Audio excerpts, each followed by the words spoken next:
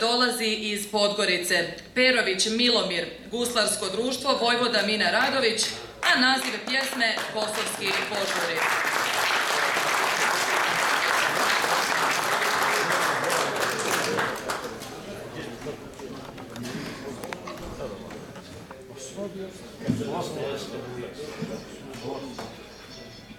Thank you.